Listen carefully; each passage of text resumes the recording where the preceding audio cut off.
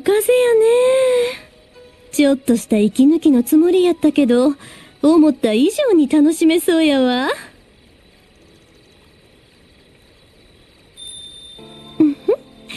お兄はんもそぞろ歩き？首都あたりからの観光みたいやけど。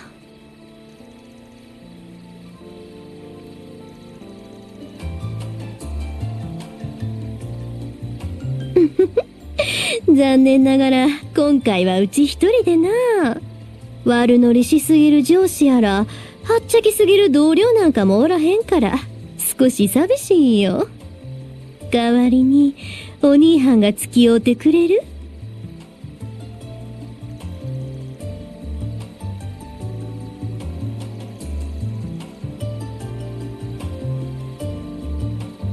あら振られてしもった。